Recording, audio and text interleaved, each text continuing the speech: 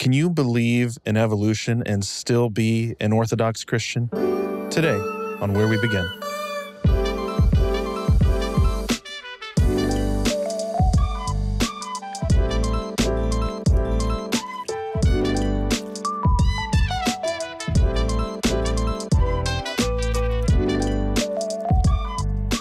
Hey guys, welcome back to Where We Begin, a podcast where we discuss some of the toughest objections to Christianity. I'm your host, Derek, and I'm joined again by Alicia, Lou, and Xandra. How's it going, gang? Hey, Excellent. fantastic. Yeah, Yeah. Thank you, Derek, for asking. I We know don't if- care I how know you are. I Derek, We seriously, we just want to you do the podcast. Can we just not do this every? I don't know if you think this comes across as charming, no. but I can tell you it does not. Um, we would like to, today we have uh, a really interesting question, especially, Alicia, I know you've got uh, good thoughts on this, but we, we're talking also to two scientists.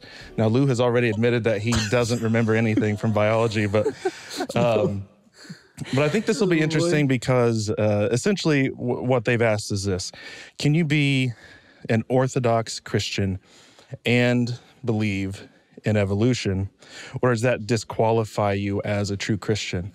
Now, there are two pressures here that make this difficult.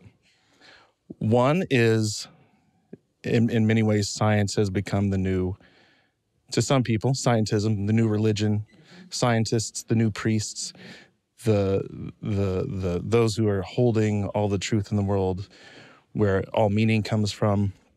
But then a lot of Christians may have parents who, who there's a, the pressure the other way. You can't even think about it, or you're somehow denying Christ, denying biblical truth because it's clear what Genesis says. So, um, yeah, let's talk about that. What what are some of the people that you've talked to through this question? I'm sure you've t- you've talked to a lot of people on this. What what's the feeling out there? How, Well, I mean, as a as a molecular biologist, I mean, I feel like I can. I feel like I remembers can- nothing. I can speak about this. And, yeah. No, I'm just do you even let remember what a molecule is? I Could we don't start there? I have some Do you know thoughts what on here. biology No, is? I'm gonna let Xandra take this and just if I want to say anything today, maybe. I. Okay. Xandra, how would Yeah. you how would you answer? Let me be the host hmm, today. yeah. Xandra, how would you like to answer this question? I'm excited about this question. I love this question. I love nerdy science questions. And I didn't know, I did not know you were going to ask this. And I wore my nerdy like science Aw. like necklace. I had no Aw, idea you yeah. were going to be a- asking this question. For those of you that are listening, it is nerdy. Actually, It's so it is nerdy. nerdy. What's on it? It's all the planets. Yeah, can Oh, the God. camera See the zoom in planets on of that? Oh, the solar? Note that one is missing. Oh, wow. Pluto's because not they took one away. I thought they not added there. it back. It's been It's deplaneted. deplaneted. Have you ever noticed that all the planets are Talk about named that day. after gods, but this planet's named after that stuff on the ground? Isn't that weird? anyway, What a random thing. I have never thought Can we, about uh, that. Let's ask the, answer I the question. that. I please. stole that. Yeah. Go ahead. That's good. I don't even remember what question I'm answering now. I'm Can all you over the can you place. Faithfully believe in both the Christian faith and Evolution. believe in evolution? Yes, you can. Um, I've met many people who take this view. It's what we call theistic evolution. So, in theist, theistic evolution, you accept um, the five causes of, of Darwinian macroevolution, which are now, now let's see if I can remember my schooling um, mutation, um, mating, genetic drift, natural selection, and oh dang, there's one more. There's a fifth cause of Darwinian macroevolution. I'll come back to it. Um, but they accept that those driving forces are what create what we've what we've seen in terms of biological life and just in general the the structure of the universe. So even even though there's this sort of this sto- stochastic element, if you will, that this this randomness and this chance element, that God used that as a tool to create what He created, so that He operated within the principle of evolution to create what we see. So that's theistic evolution. And I've met many faithful men and women who love the word, who love the Lord, and um, yeah, I mean they, they they accept this wholeheartedly. So I think it is absolutely possible. I was one of those people, by the way, that grew up in a household to be like anything other than a literal seven Yeah. day. Like, and I remember when I went to, I mean, I went to a public high school and I just kind of like didn't listen to my teacher about like anytime we went into that realm I was like oh because i just associated the word evolution with atheism it's kind of just the way i was raised but then when I, I went to a christian university i went to grove city college and one of my professors was we, we read the book the language of god by francis collins uh, francis collins is, is no dummy uh, he's quite a brilliant man uh, one of the uh, head of the stance, yeah. head of the human genome project Yeah, right he National cracked the code. Yeah, basically. brilliant guy. And and I'm reading his book on his understanding. I was like, wait the language second. of God. Yeah, is the that the, one language you're of reading? God. Yeah. Oh, I just remember the fifth one. Migration. there we go. Sorry, continue. The language of but God. anyway, that was the first time when I was in college. That was the first time I realized this this understanding. I just I didn't even know there there was a case to be made Mm-hmm. uh, for this understanding of being both a Christian and somebody that believes um, in in evolution. So And I think just to, to go back to this question, I think the reason why people ask this question and part of the wrestle is because there's kind of two pieces of it. There's there's the science piece, obviously evolution, but the real the the ultimate issue I think is in the theological implications. And I think that's one of the reasons why people wrestle with it is not just because of because most people who who who who, uh, who are in the Christian realm who hear who hear of evolution don't necessarily you know dig into the science of evolution what they what they hear instead is this is an alternative reading to what my bible says about how genesis and God created, what Genesis and what God created. And so for them, it's a theological challenge. And I, and I do think that that um, it is something that is that I can understand why people struggle with trying to trying to merge the two together. I'm not saying whether or not evolution is right or wrong. I'm just saying that part of the reason why that the struggle is there is because what does it mean for Adam? Who then is Adam? You know, mm-hmm. and and and, and, and in evolution, essentially what you have is you have, you know, the, the you go from simple to more complex, more complex, and then you, you know, got the organisms continue to grow and evolve into different things. But eventually what happens, it's not like you just get one human one day, right? You have like an entire group that eventually is be- and, you know becomes what we consider human, whatever that is going to mean. Because now you got to ask when does somebody become a human versus what they previously were, and then so you've got that implication. You've got when did they become an image bearer of God? When did they get the image of God bear on them? At what stage of that process? And then once they got the image of God, did they then become morally responsible? But regardless, you had this happening to many, many beings at the same time, and then all of a sudden you have what well, who is Adam? Is is he one of these? And if so, which one is he? Did God just pick randomly pick one particular person out to be Adam, and then that's that? Or, you know, like uh, how did that happen? Or was Adam just symbolic? And the reason why there's that that's implications, problematic. right? No, right. we're getting then into the realm. That's Yeah. that's what And- the theological Getting- issues are. getting Exactly. tricky. Well, Did they the have thing. belly buttons? That's the real Yeah, question. no, I'm that's just the kidding. I'm just kidding. Sorry, Uh, Derek. gosh, I hope so.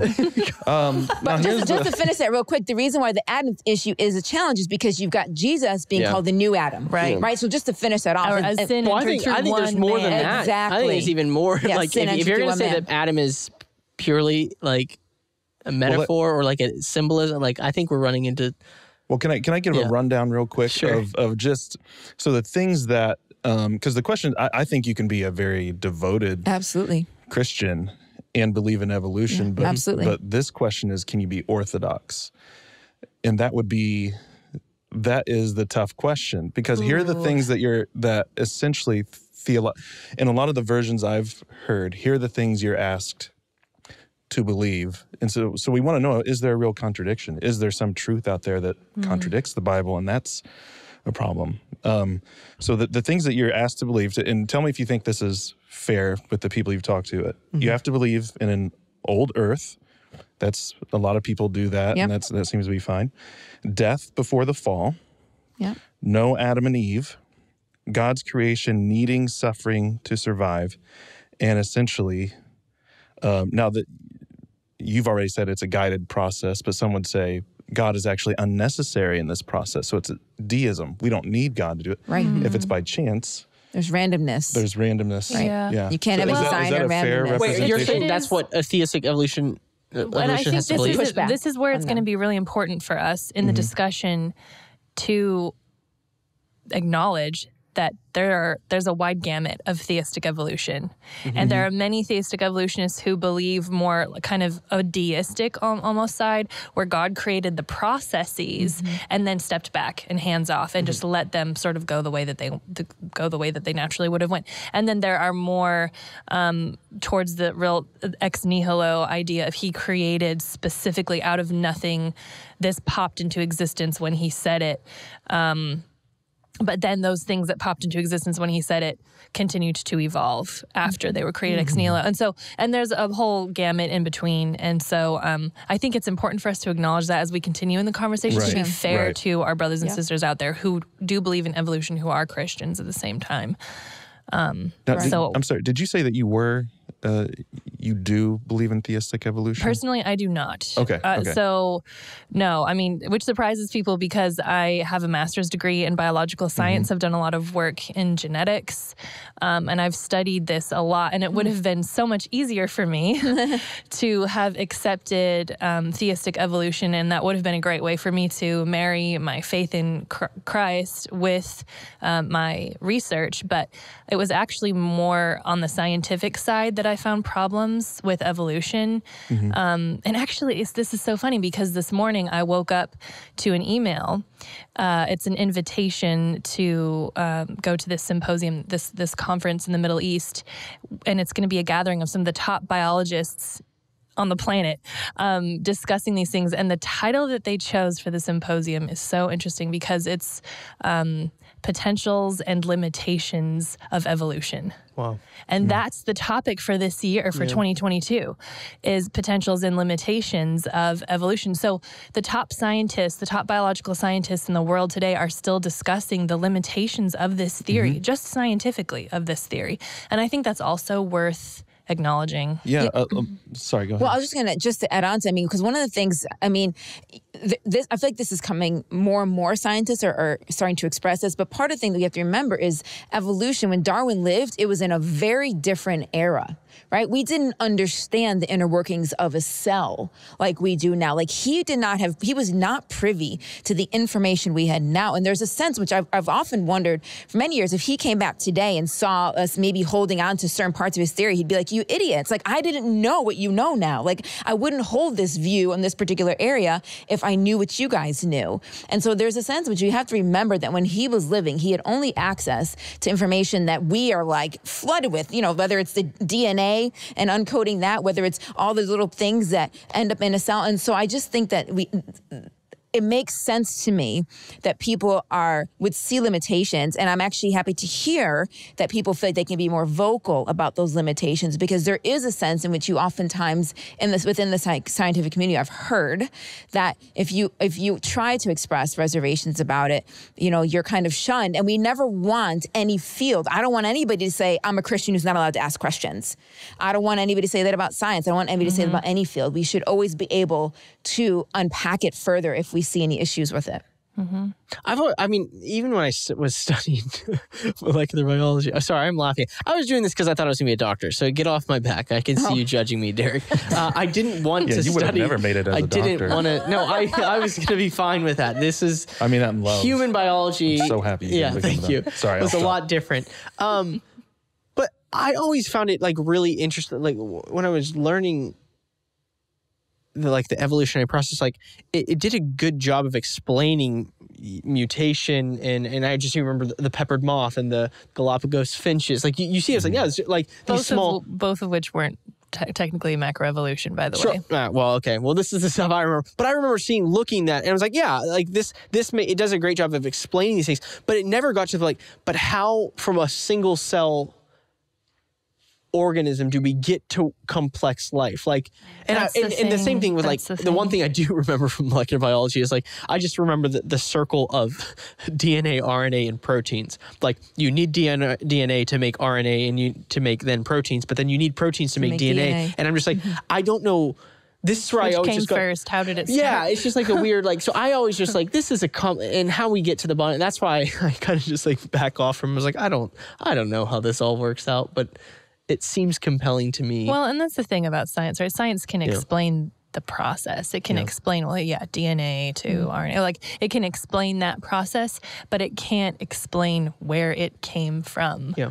Um, So so a lot of what we see in in macroevolution is operation science, what we call operation science, but it's not origin science. Yeah. It doesn't explain where it came from. It just explains how it works. Right. And it's great that we have a way of explaining how things work. Mm-hmm. That's why I love science. I'm fascinated by science. Mm-hmm. I'm a total nerd. Anyone who knows me knows what a nerd I am. But it doesn't answer every single question. It certainly doesn't answer the question where we come from. So, and I think that's one thing that theistic evolution tries to do is tries to take an operation science and sort of convert it or conform it into also being an origin science uh, or Right. an origin explanation. Right. And so, and again, I I think in in some forms it works okay, and in other forms I think it just doesn't. Because once you get into more like the deistic forms, it yeah, it doesn't work. And also, like a lot of things that people say are macroevolution are not macroevolution at all. They're just phenotypic plasticity, like the finches mm-hmm. or the moths. Can you So- explain those terms, at Sorry. least macro and micro, just to make sure everybody? So- Just for the, I mean, I, I know what you're talking about because Yeah. I'm a molecular biologist, but for those listening that don't He's know, a microbiologist who remembers no, no, everything. he studied. molecular. I'm not a micro. Oh, you're not? molecular. Oh. What's the difference between micro and molecular? I couldn't tell you, but there is a difference. Well, I'll tell you the difference between micro and macro Okay. evolution.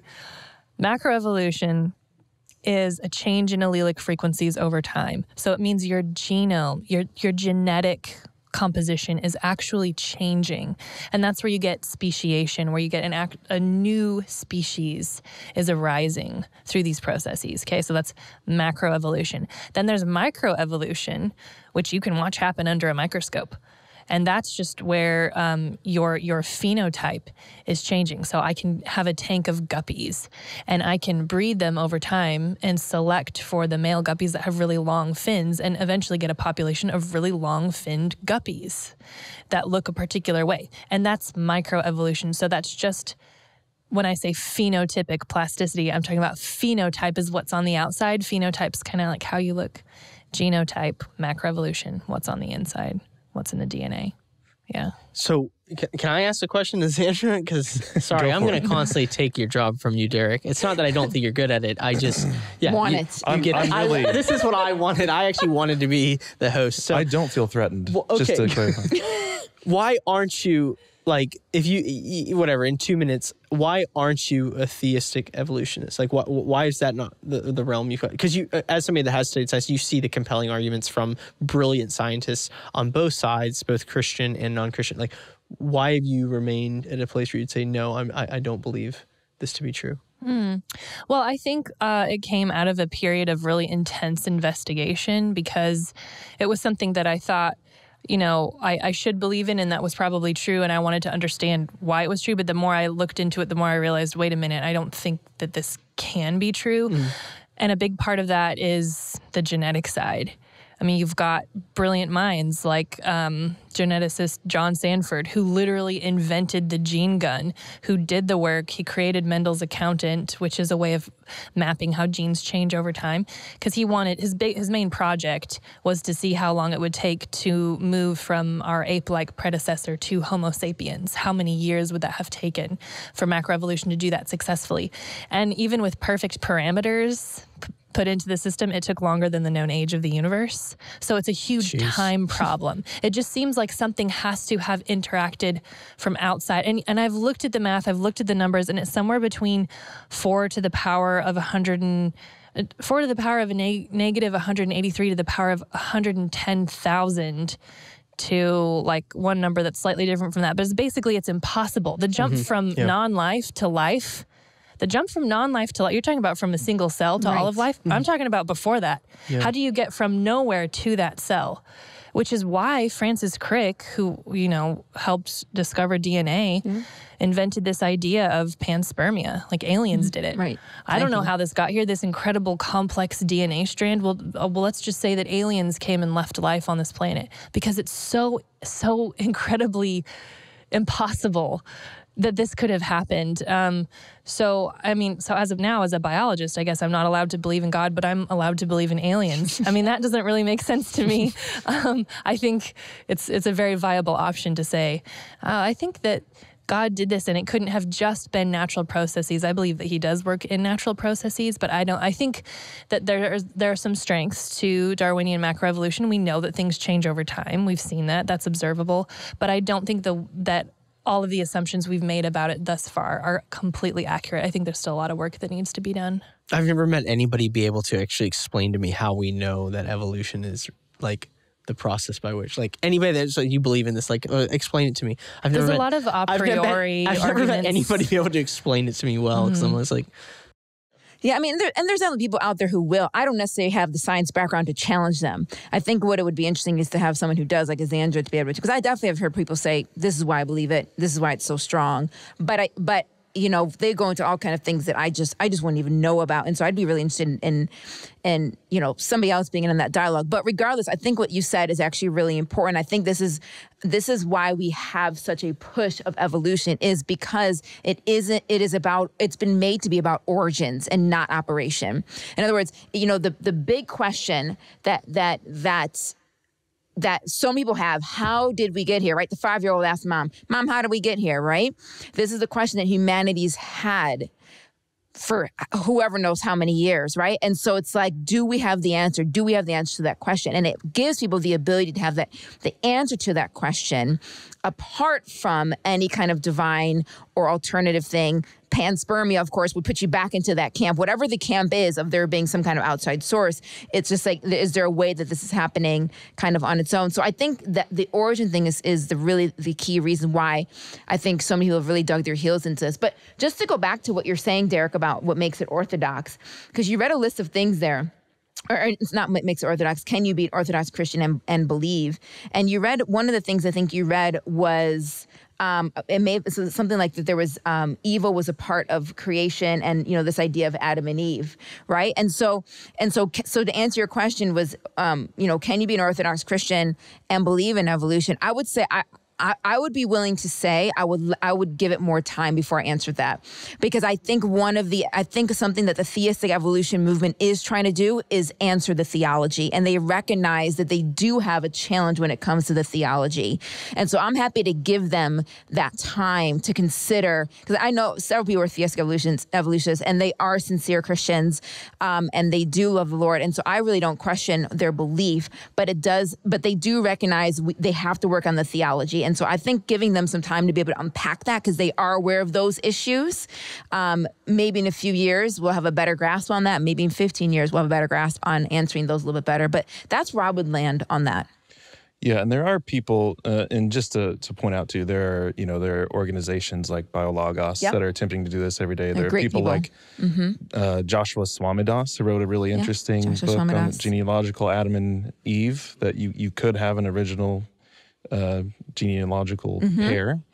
Um, and he's a, a computational biologist, so pretty interesting. But Yeah. um, one last thing I want to get to, we're we're running out of time, but I want to give um, perhaps we could give some people a little room to breathe and just feel like they can even look into these things. So a lot of times the the charge is you're only believing in evolution because of this cultural pressure to do it. Yeah. And we could point out that actually before the theory of evolution, there were Christians like Basil the Great, Augustine, Clement of Alexandria, Origen, Aquinas, who did not take that sort of literalistic view of uh, the early chapters of Genesis, the the six literal 24 hour days of creation, um, who, who recognized that maybe there was a different point being made, and maybe there's a different way to read it literally. Um, what do you guys think of? You know, it, are there are there is there freedom in that? How would you even maybe give some tips on reading Genesis? Oh, sorry. Well, I don't know. I, I would say like when when you're trying to answer the question of like science and faith, like I think as Christians we need to be we need to be very careful to say what the Bible says and not a word more, not a word less. And I think we actually get really good at saying more than what the Bible says in certain things. And and we also got to realize like the Bible isn't a science textbook. It's it, sometimes we go to it trying to use it the way we would read our biology textbooks. We're like, well, this is this doesn't work. Like there's a there's a contradiction here, um, and so I, my, again, the thing I learned when I was in college was like, you start looking at the between Genesis one and two, and you're like, well, wait a second. If I take this completely literally, there's two different stories happening right here, and they do seem to to contradict each other if I'm going to do that that way. So I think to make sure that we understand the different genres of scripture, like I think we so often go to scripture as in like one book, and it is one book, but it's kind of like a library. I mean, you're talking about like over 40 some authors and over, written over thousands of years long and we're trying to pretend like it was yes there is one true author behind it all but like we have to go and go to it with a lot of humility. But I the one thing I've always said just as somebody that even came with a science background and where I got like I said I, I wanted to go into medicine was like what I loved about science is science could always tell me um, how we could take say a kidney from somebody and put and put it into another body in that work. Like the, the idea of like, how did that come up? Did, but the thing is that science never could tell me why in the world someone would give up their kidney to save someone else's life.